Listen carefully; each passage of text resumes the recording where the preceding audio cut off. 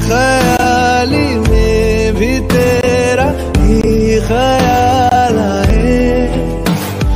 क्यों बिछड़ना है ज़रूरी ये सवाल आए?